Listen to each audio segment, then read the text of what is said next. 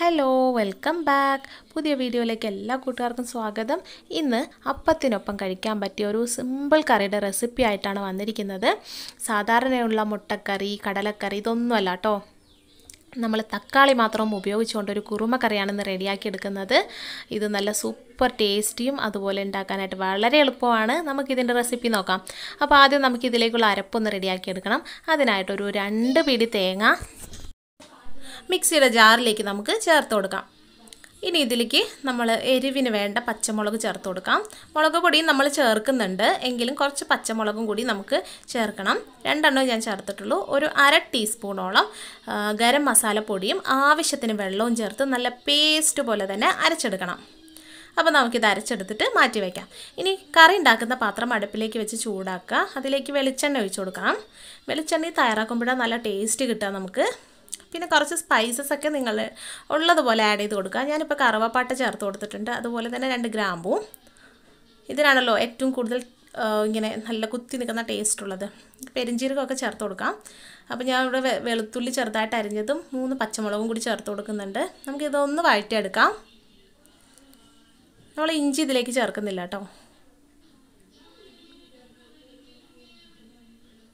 അപ്പോൾ ഇതൊന്ന് നല്ലതുപോലെ വറുത്ത് ഇതിന്റെ നല്ലൊരു മണമൊക്കെ വരും. ആ സമയത്ത് നമുക്ക് ഇതിലേക്ക് ഞാൻ ചെറിയുള്ളിയാണ് എടുത്തിരിക്കുന്നത്. ഒരു പത്തിരുപത് ചെറിയുള്ളി ഇത് ഇതുപോലെ ചെറുതായിട്ട് കട്ട് ചെയ്ത് അത്ര ചെറുതായി കട്ട് ചെയ്തിട്ടില്ല. ഒരെണ്ണം നാലായിട്ടൊക്കെ മുറിച്ചിട്ടുള്ളൂ. ഒന്ന് ചേർത്ത് കൊടുക്കുക. ഇനി ഇത് നല്ലതുപോലെ വഴറ്റിയെടുക്കണം. അപ്പോൾ വഴറ്റാനായിട്ട് ഉപ്പൊക്കെ ചേർത്തോളൂ കേട്ടോ. വഴന്ന് കിട്ടാനായിട്ട് നല്ലതുപോലെ ഉപ്പ് ചേർത്ത് കൊടുക്കാം. അല്ല ആവശ്യത്തിന് ഉപ്പ് ചേർത്ത് കൊടുക്കാം.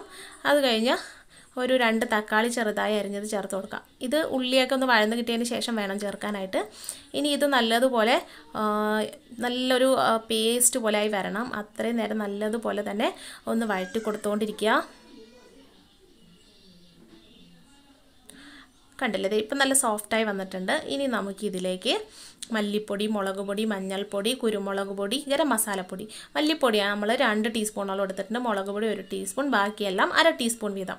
ഇത്രയും ചേർത്ത് കൊടുത്തിട്ട് പൊടികളുടെ പച്ചമണം മാറാനായിട്ട് നല്ലതുപോലെ ഒന്ന് വഴറ്റി കൊടുക്കണം അതിനുശേഷം നമ്മൾ ഇതിലേക്ക് വെള്ളം ഒഴിച്ച് കൊടുക്കുകയാണ് ഒരുപാട് വെള്ളം ഒഴിക്കരുത്. ഒരു ഒന്നര ഗ്ലാസ്സോളം വേണമെങ്കിൽ ഒഴിച്ചു കൊടുക്കാം ഇനി ഈ വെള്ളത്തിൽ കിടന്നിട്ട് ഈ തക്കാളിയും ഉള്ളിയൊക്കെ നല്ലതുപോലെ ഒന്ന് തിളച്ച് കുറുകി വരണം. ഈ സമയത്ത് നിങ്ങൾക്ക് ഉപ്പൊക്കെ നോക്കി പാകം നോക്കിയിട്ട് ചേർത്ത് കൊടുക്കാവുന്നതാണ്. അപ്പോൾ ഞാൻ നേരത്തെ ഉള്ളി വഴറ്റുമ്പോൾ ചേർത്ത് കൊടുത്തിരുന്നു. അപ്പോൾ ഞാനിപ്പോൾ ദേ തേങ്ങ ചേർത്ത് കൊടുത്തു.